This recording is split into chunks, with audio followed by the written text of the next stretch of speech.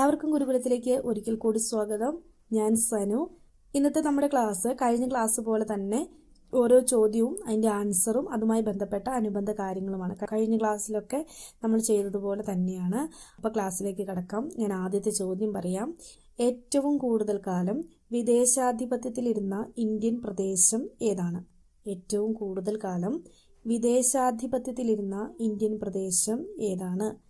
ഒരുപാട് പ്രാവശ്യം ചോദിച്ച ചോദ്യമാണ് നമുക്കറിയാവുന്ന ഉത്തരവുമാണ് ഗോവയാണ്. ഗോവയാണ് ഏറ്റവും കൂടുതൽ വിദേശാധിപത്യം അനുഭവിച്ച ഇന്ത്യൻ പ്രദേശം. ഇനി ഈ ചോദ്യവുമായി ബന്ധപ്പെട്ട അനുബന്ധ കാര്യങ്ങളിലേക്ക് കടക്കാം. ഈ ഗോവ പോർച്ചുഗീസ് ആധിപത്യത്തിലായിരുന്നു. പോർച്ചുഗീസ് ആധിപത്യത്തിലായിരുന്നു ഗോവ. ഗോവയെ ആയിരത്തി തൊള്ളായിരത്തി അറുപത്തി ഒന്ന് ഡിസംബർ പതിനൊന്നിനാണ് മോചിപ്പിക്കുന്നത്.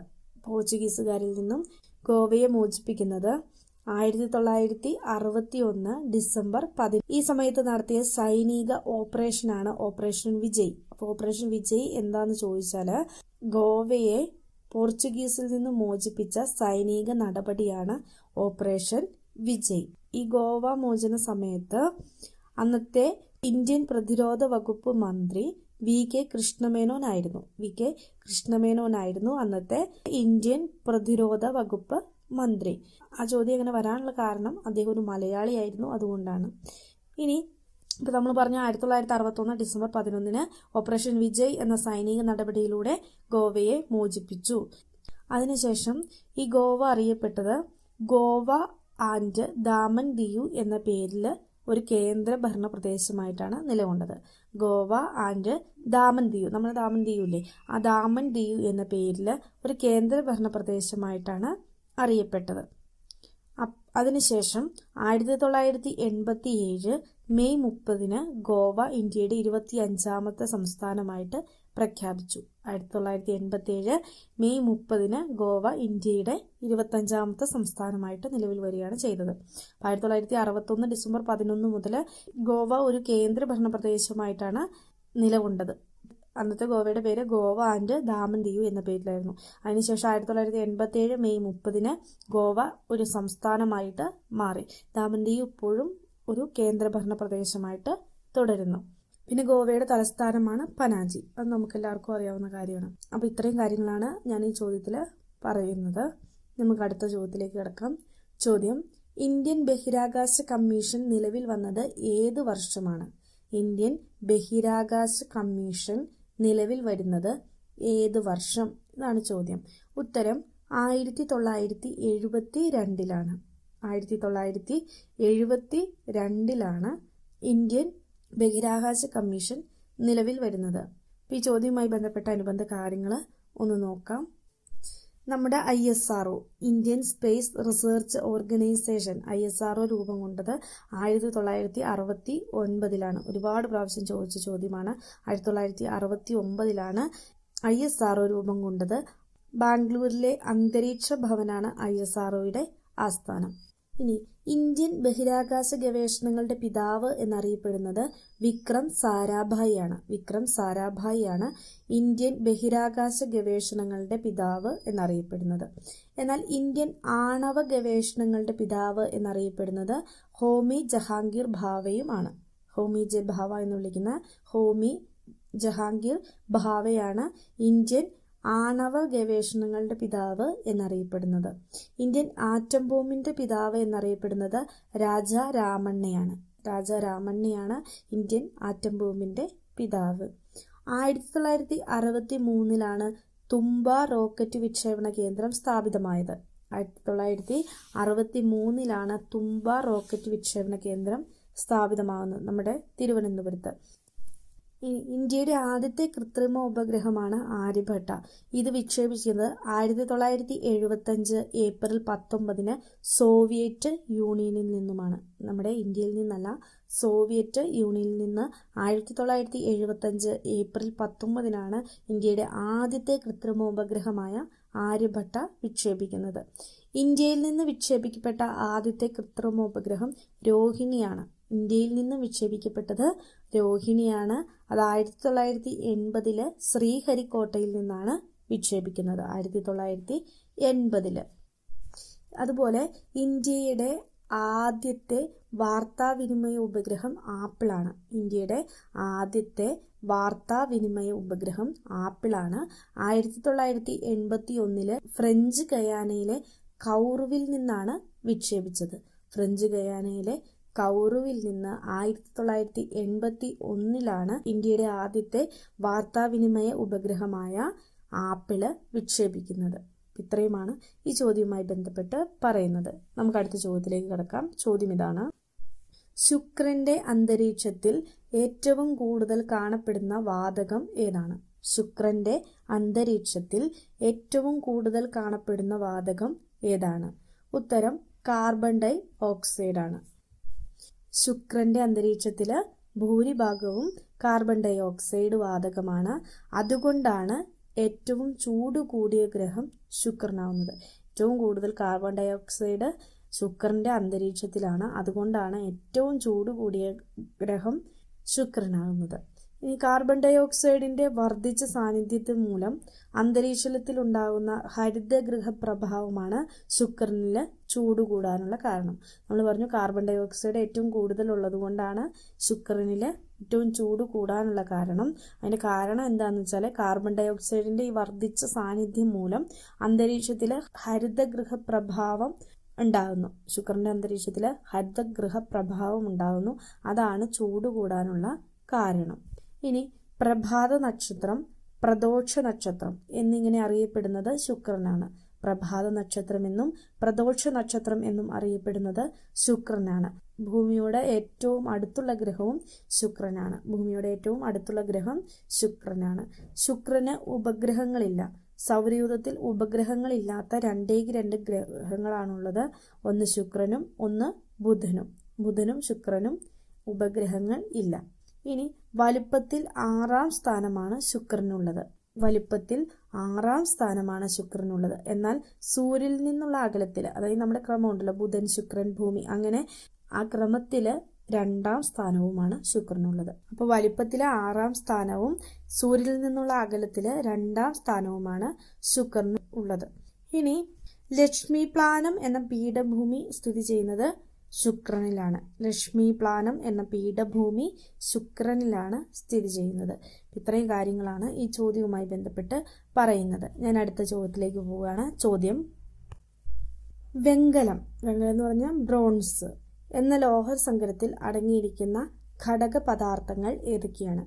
വെങ്കലം എന്ന ലോഹ ലോഹസങ്കരത്തിൽ അടങ്ങിയിരിക്കുന്ന ഘടക പദാർത്ഥങ്ങൾ ഏതൊക്കെ? എന്നാണ് ചോദ്യം.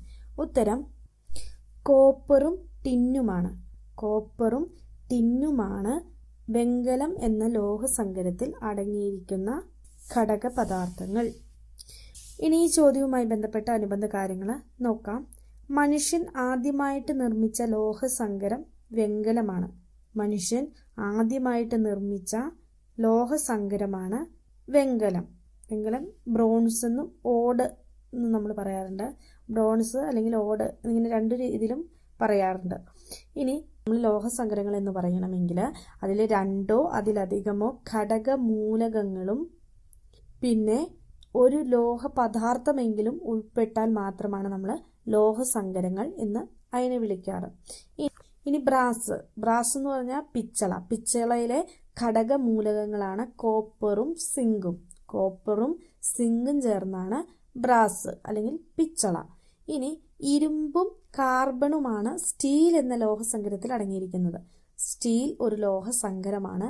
അതിൽ അടങ്ങിയിരിക്കുന്നത് ഇരുമ്പും കാർബണുമാണ്. മെർക്കുറി അമാൽഗം എന്ന ലോഹസങ്കരമാണ് പല്ലിന്റെ പോട് അടയ്ക്കാനായിട്ട് ഉപയോഗിക്കുന്നത്. മെർക്കുറി അമാൽഗം എന്ന ലോഹസങ്കരം പല്ലിലെ പോട് അടയ്ക്കാൻ വേണ്ടിയിട്ട് ഉപയോഗിക്കുന്നു. ഡ്യൂറാലുമിന്റെ ഘടകപദാർത്ഥങ്ങൾ കോപ്പർ അലുമിനിയം മഗ്നീഷ്യം മാംഗനീസ് എന്നിവയാണ്. ഏതൊക്കെയാണ്? അലുമിനിയം കോപ്പർ മഗ്നീഷ്യം മാംഗനീസ് ഇത്രയാണ് ഡ്യൂറാലുമിന്റെ ഘടക പദാർത്ഥങ്ങൾ ഈ ഡ്യൂറാലുമിനുകൾ ഉപയോഗിക്കുന്നത് വിമാന ഭാഗങ്ങൾ നിർമ്മിക്കാൻ വേണ്ടിയിട്ടാണ്. വിമാനത്തിന്റെ ഭാഗങ്ങൾ നിർമ്മിക്കാൻ വേണ്ടിയിട്ടാണ് ഡ്യൂറാലുമിന് ഉപയോഗിക്കുന്നത്. അപ്പം ഇതിന്റെ ഘടകപദാർത്ഥങ്ങൾ നമ്മൾ പറഞ്ഞു. കോപ്പർ അലുമിനിയം മഗ്നീഷ്യം മാംഗനീസ് എന്നിവയാണ്. ഇതൊക്കെ എടുത്തു ചോദിക്കുന്ന ചോദ്യങ്ങളാണ് അതുകൊണ്ടാണ്. പഞ്ചലോക വിഗ്രഹങ്ങളിൽ കൂടുതൽ അടങ്ങിയിരിക്കുന്ന ലോഹം ചെമ്പാണ്. ചെമ്പാണ് പഞ്ചലോഹ വിഗ്രഹങ്ങളിൽ ഏറ്റവും കൂടുതൽ അടങ്ങിയിരിക്കുന്നത്. അത് എൺപത് ശതമാനം ചെമ്പാണ്. ചെമ്പ് കൂടാതെ വെള്ളി ഈയം ഇരുമ്പ് സ്വർണം എന്നിവയാണ് പഞ്ചലോക വിഗ്രഹങ്ങളിലെ ഘടകപദാർത്ഥങ്ങൾ.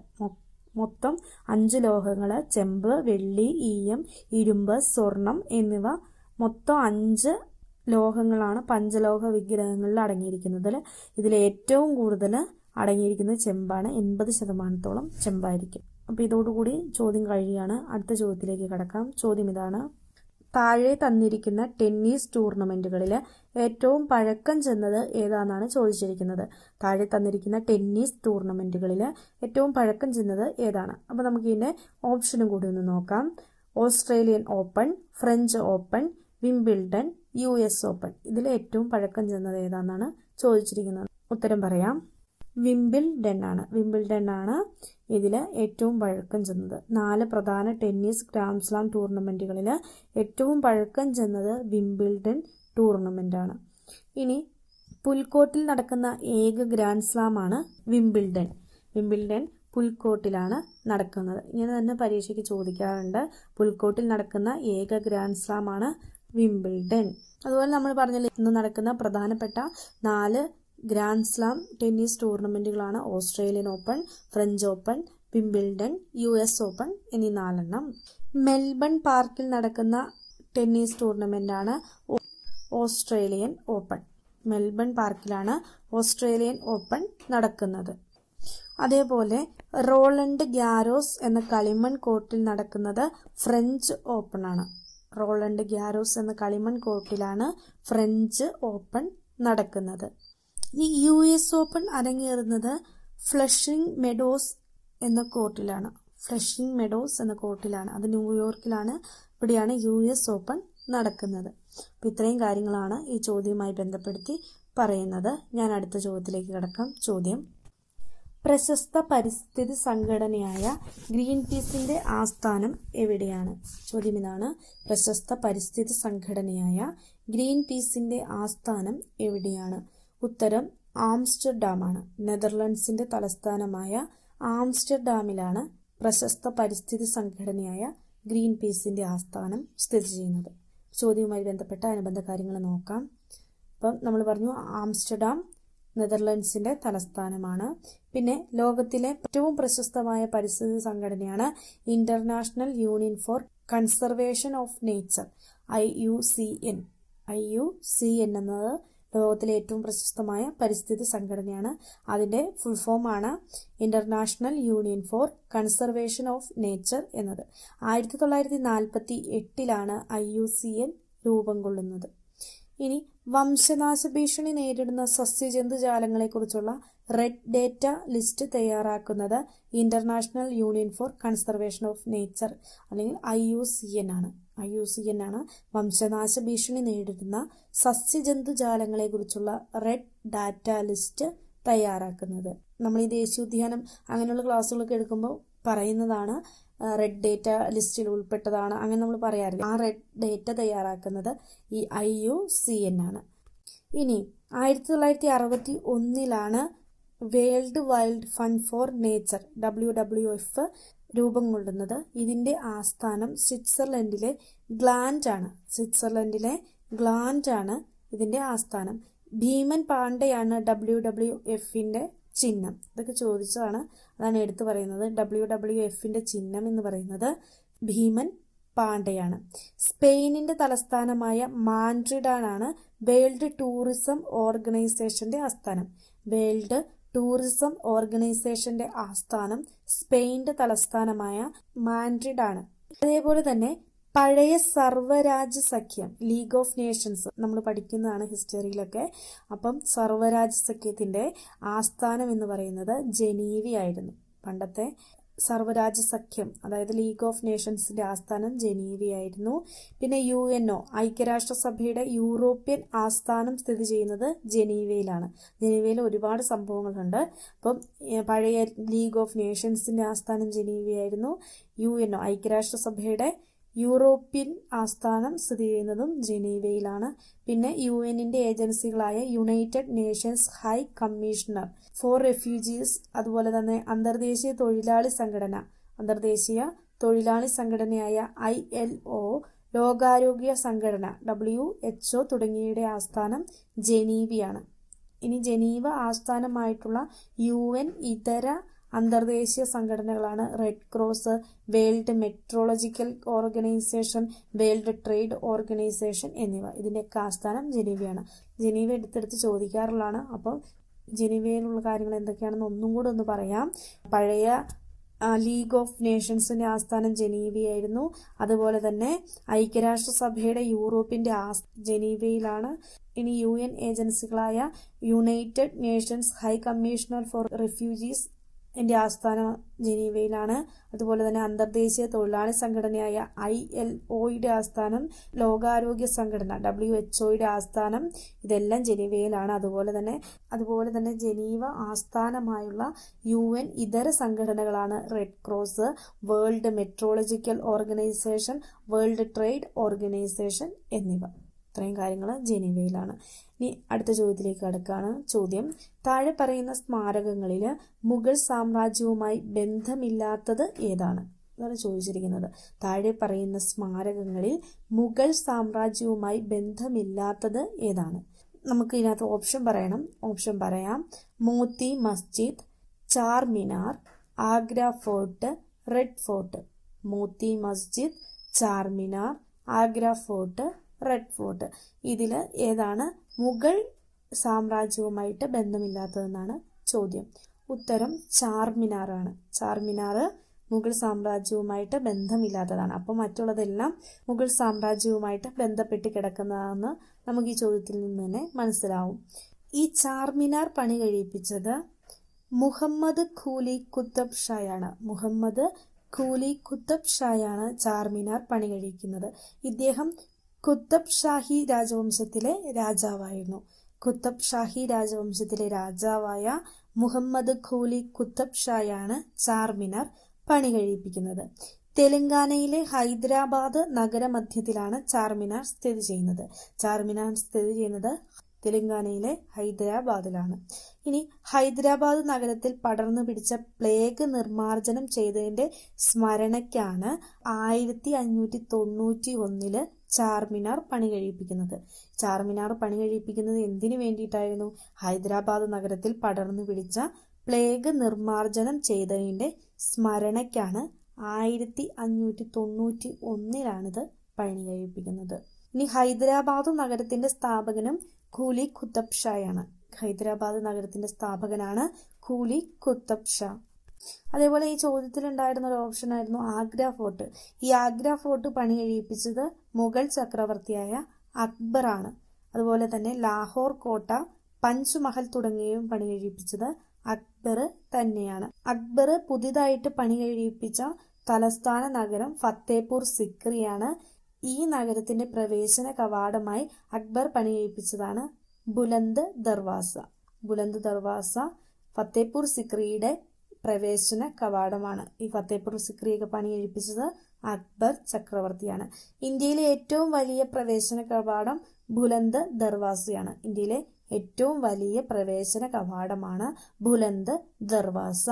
ഇബാദത്ത് ഖാന എന്ന പ്രാർത്ഥനാലയം പണി കഴിപ്പിച്ചതും അക്ബർ തന്നെയാണ്. ഇബാദത്ത് ഖാന എന്ന പ്രാർത്ഥനാലയം പണി കഴിപ്പിച്ചതും അക്ബർ ചക്രവർത്തി തന്നെയാണ്. അതുപോലെ ഡൽഹിയിലെ റെഡ് ഫോർട്ട് റെഡ് ഫോർട്ട് ഇപ്പൊ നമ്മുടെ ചോദ്യത്തിൽ ഉണ്ടായിരുന്നതാണ് ഓപ്ഷനിൽ ഉണ്ടായിരുന്നതാണ് ചെങ്കോട്ട അതുപോലെ തന്നെ ആഗ്രയിലെ മോത്തി മസ്ജിദ്. അതിനെ പേൾ മോസ്ക് എന്നും അറിയപ്പെടുന്നു. Pearl Mosque.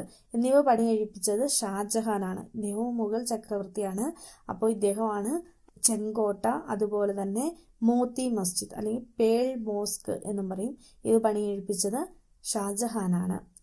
പിന്നെ നമുക്കറിയാം എന്താ താജ്മഹൽ പണി കഴിപ്പിച്ചത് ഷാജഹാനാണ്. അതുപോലെ തന്നെ ഡൽഹിയിലെ ജുമാ മസ്ജിദ് ദിവാനി ഖാസ് ദിവാനി ആം എന്നിവ പണി കഴിപ്പിച്ചതും ഷാജഹാനാണ്. നമുക്കതൊക്കെ അറിയാവുന്ന കാര്യങ്ങളാണ്. അപ്പൊ നമ്മുടെ ഈ ചോദ്യത്തിന്റെ ഓപ്ഷനായിട്ട് കൊടുത്തിരുന്ന മോത്തി മസ്ജിദും റെഡ് ഫോർട്ടും പണി കഴിപ്പിച്ചത് മുഗൾ ചക്രവർത്തിയായ ഷാജഹാനാണ്. ആഗ്ര ഫോർട്ട് പണി കഴിപ്പിച്ചത് നമ്മുടെ അക്ബറാണ്. അപ്പൊ ഈ കൊടുത്ത ഓപ്ഷനിൽ മുഗൾ ചക്രവർത്തിമാരല്ലാതെ പണി കഴിപ്പിച്ചത് ചാർമിനാറാണ്. ചാർമിനാർ പണി കഴിപ്പിച്ചത് കൂലി ഖുത്തബ് ഷായാണ്. ഇതാണ് ഇവിടുത്തെ ആൻസർ അടുത്ത ചോദ്യത്തിലേക്ക് കിടക്കുകയാണ് ചോദ്യം ദി ഗുഡ് എർത്ത് എന്ന കൃതി രചിച്ചത് ആരാണ്? ദി ഗുഡ് എർത്ത് എന്ന കൃതി രചിച്ചത് ആരാണ്? ഉത്തരം പേൾ എസ് ബക്കാണ്. പേൾ എസ് ബക്കാണ് ദ ഗുഡ് എർത്ത് എന്ന കൃതി രചിച്ചത്. അമേരിക്കൻ എഴുത്തുകാരിയാണ് പേളസ് ബഗ്. ഈ കൃതി ആയിരത്തി തൊള്ളായിരത്തി മുപ്പത്തിരണ്ടിലെ പുലിസ്റ്റർ പ്രൈസ് നേടിയ കൃതിയാണ്. ആയിരത്തി തൊള്ളായിരത്തി മുപ്പത്തിരണ്ടിലെ പുലിസ്റ്റർ പ്രൈസ് നേടിയ കൃതിയാണ് ദി ഗുഡ് എർത്ത് എന്നത്. ദി ഗുഡ് എർത്ത് എന്ന കൃതി. ഇനി പേളസ് ബക്കിന്റെ പ്രധാനപ്പെട്ട മറ്റ് കൃതികളാണ് East Wind West Wind A House Divided Letter from Peking My Several Worlds എന്നിവ. ഏതൊക്കെയാണ് East Wind West Wind A House Divided Letter from Peking My Several Worlds എന്നിവ. ഇതൊക്കെ പേളസ് പെഗിന്റെ പ്രധാനപ്പെട്ട കൃതികളാണ്.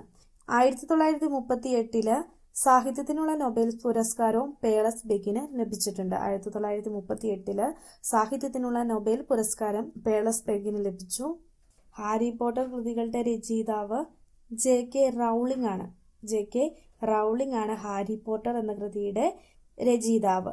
ഈ ജെ കെ റൗളിംഗിന്റെ പ്രധാനപ്പെട്ട മറ്റൊരു കൃതിയാണ് കാഷ്വൽ വാക്കൻസി എന്നത്. കാഷ്വൽ വാക്കൻസി എന്നത് ജെ കെ റൗളിംഗിന്റെ പ്രധാനപ്പെട്ട മറ്റൊരു കൃതിയാണ്. ഇനി നമുക്ക് അടുത്ത ചോദ്യത്തിലേക്ക് കടക്കാം. ചോദ്യം ഇന്ത്യയുമായി ഏറ്റവും കൂടുതൽ കര അതിർത്തി പങ്കുവെക്കുന്ന രാജ്യം ഏതാണ്? ഇന്ത്യയുമായിട്ട് ഏറ്റവും കൂടുതൽ കര അതിർത്തി പങ്കുവെക്കുന്ന രാജ്യം ഏതാണ്? ഉത്തരം ബംഗ്ലാദേശാണ്. ബംഗ്ലാദേശുമായാണ് ഇന്ത്യ ഏറ്റവും കൂടുതൽ കര അതിർത്തി പങ്കിടുന്നത്. കര അതിർത്തിയാണ്. അത് പ്രത്യേകം ശ്രദ്ധിക്കണം. അപ്പോൾ ഈ ചോദ്യത്തിന്റെ അനുബന്ധ കാര്യങ്ങളിൽ നോക്കാം. ഇന്ത്യ ഏഴ് രാജ്യങ്ങളുമായിട്ടാണ് കര അതിർത്തി പങ്കിടുന്നത്. ഇന്ത്യ മൊത്തം ഏഴ് രാജ്യങ്ങളുമായിട്ടാണ് കര അതിർത്തി പങ്കിടുന്നത്. ഏതൊക്കെയാണ്? ബംഗ്ലാദേശ് ചൈന ഭൂട്ടാൻ നേപ്പാൾ മ്യാൻമാർ പാകിസ്ഥാൻ അഫ്ഗാനിസ്ഥാൻ എന്നിവയാണ് ഏഴ് രാജ്യങ്ങൾ Bangladesh China Bhutan Nepal Myanmar Pakistan Afghanistan. India കരാതിർത്തി പങ്കിടുന്നതിൽ ഏറ്റവും വലിയ രാജ്യം ചൈനയാണ്. ഇന്ത്യ കരാതിർത്തി പങ്കിടുന്നതിൽ ഏറ്റവും വലിയ രാജ്യം ചൈനയാണ്. ഇന്ത്യ കരാതിർത്തി പങ്കിടുന്നതിൽ ഏറ്റവും ചെറിയ രാജ്യം ഭൂട്ടാനാണ്. ഇങ്ങനെ തന്നെ ചോദിക്കാറുണ്ട്. ഇന്ത്യ കരാതിർത്തി പങ്കിടുന്നതിലെ ഏറ്റവും വലിയ രാജ്യം ചൈനയും ഏറ്റവും ചെറിയ രാജ്യം ഭൂട്ടാനുമാണ്. ഇനി നമ്മുടെ ചോദ്യം ഇന്ത്യ ഏറ്റവും കൂടുതൽ കരാതിർത്തി പങ്കിടുന്ന രാജ്യം ഏത് എന്നായിരുന്നു അത് ബംഗ്ലാദേശാണ്. ഇനി ഏറ്റവും കുറച്ച് കരാതിർത്തി പങ്കിടുന്നത് അഫ്ഗാനിസ്ഥാനുമായിട്ടാണ്. ഇന്ത്യ ഏറ്റവും കുറച്ച് കരാതിർത്തി പങ്കിടുന്നത് അഫ്ഗാനിസ്ഥാനുമായാണ്. പാകിസ്ഥാനുമായിട്ട് ഏറ്റവും അധികം അതിർത്തി പങ്കിടുന്ന ഇന്ത്യൻ സംസ്ഥാനമാണ് രാജസ്ഥാൻ. ഇങ്ങനെ തന്നെ ഒരു പ്രാവശ്യം ചോദിച്ചതാണ്. രാജസ്ഥാനാണ് പാകിസ്ഥാനുമായി ഏറ്റവും അധികം അതിർത്തി പങ്കിടുന്ന ഇന്ത്യൻ സംസ്ഥാനം. പക്ഷേ ഈ ചോദ്യം ഇങ്ങനെ ചോദിക്കുമ്പോൾ നമ്മൾ എല്ലാവരും വിചാരിക്കും ജമ്മു കാശ്മീർ ആയിരിക്കുന്നു എല്ലാവരും തന്നെ ജമ്മു കാശ്മീർ എന്നാണ് ഉത്തരം എഴുതാനായിട്ട് ഏറ്റവും കൂടുതൽ സാധ്യത. പക്ഷെ ജമ്മു കാശ്മീർ അല്ല പാകിസ്ഥാനുമായിട്ട് ഏറ്റവും അധികം അതിർത്തി പങ്കിടുന്ന സംസ്ഥാനം രാജസ്ഥാനാണ്.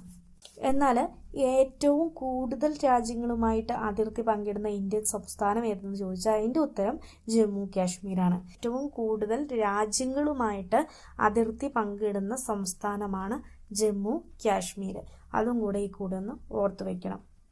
അപ്പോൾ ഇത്രയും കാര്യങ്ങളാണ് ഈ ചോദ്യത്തിൽ ഞാൻ പറയുന്നത്. അടുത്ത ചോദ്യത്തിലേക്ക് കടക്കുകയാണ് ചോദ്യം. ആയിരത്തി തൊള്ളായിരത്തി മുപ്പത്തിരണ്ടിലെ ഭരണഘടനാ പരിഷ്കാരങ്ങളോടുള്ള പ്രതിഷേധമായി തിരുവിതാംകൂറിൽ ആരംഭിച്ച സമരം ഏതാണ്? ആയിരത്തി തൊള്ളായിരത്തി മുപ്പത്തിരണ്ടിലെ ഭരണഘടനാ പരിഷ്കാരങ്ങളോടുള്ള പ്രതിഷേധമായി തിരുവിതാംകൂറിൽ ആരംഭിച്ച സമരം ഏതാണെന്നാണ് ചോദിച്ചിരിക്കുന്നത്. ഉത്തരം ഈ ആയിരത്തി തൊള്ളായിരത്തി മുപ്പത്തിരണ്ട് എന്ന് കേൾക്കുമ്പോൾ തന്നെ നമുക്ക് ഉത്തരം കിട്ടും. ഉത്തരം നിവർത്തന പ്രക്ഷോഭമാണ്. നിവർത്തന പ്രക്ഷോഭം ആയിരത്തി തൊള്ളായിരത്തി മുപ്പത്തി രണ്ടിലാണ് നടക്കുന്നത്. ചോദ്യവുമായി ബന്ധപ്പെട്ട അധിക കാര്യങ്ങൾ എന്തൊക്കെയാണെന്ന് നോക്കാം.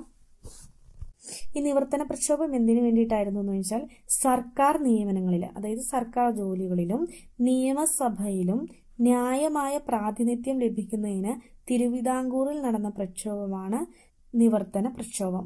ആബ്സ്റ്റൻഷൻ മൂവ്മെന്റ് ഇനി കേരളത്തിൽ ആദ്യമായി നിയമനങ്ങളിൽ സാമുദായിക സംവരണം അനുവദിക്കുന്നതിനും പി എസ് സിയുടെ രൂപീകരണത്തിനും കാരണമാവുകയും ചെയ്ത സമരം നിവർത്തന പ്രക്ഷോഭമാണ്. ഇതിങ്ങനെ ചോദിക്കാറുണ്ട്. പി എസ് സിയുടെ രൂപവൽക്കരണത്തിലേക്ക് നയിച്ച സമരം ഏത് എന്നുള്ള ചോദ്യം വരാറുണ്ട്.